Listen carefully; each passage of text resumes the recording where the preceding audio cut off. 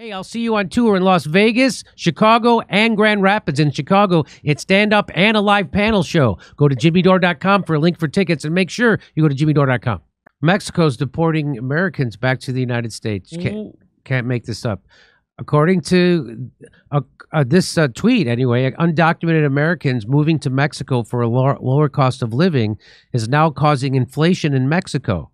Mexico is now deporting Americans back to the US because they're fed up. So recently, people in Mexico have been complaining because there's been an increased amount of Americans moving to Mexico without documentation. This has been causing inflation in Mexico since Americans usually don't pay any tax and they pay in US dollars, so prices have been going up. Just in the past 60 days, there's been over 240,000 immigrant apprehensions, and over 7,000 of them have been deported so far. The reason people are fleeing from the US to Mexico is because they can't afford to live in America anymore, and in Mexico, Mexico, the US dollar has a lot more value and can go a longer way. However, because of this, people in Mexico are also feeling like Americans have been colonizing in a lot of parts of Mexico. And for locals, it's been a struggle since businesses have been naturally raising prices in response to this. People in Mexico are saying this is decreasing the quality of life over there, and everyone using pesos now having to pay more to buy anything.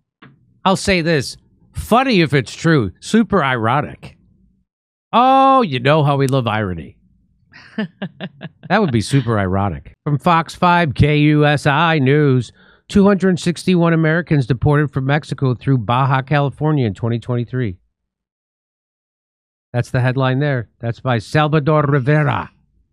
That's from February 9th. So apparently it is happening. Look at that. Hey, I'll see you on tour in Las Vegas, Chicago, and Grand Rapids. In Chicago, it's stand up and a live panel show. Go to jimmydore.com for a link for tickets and make sure you go to jimmydore.com.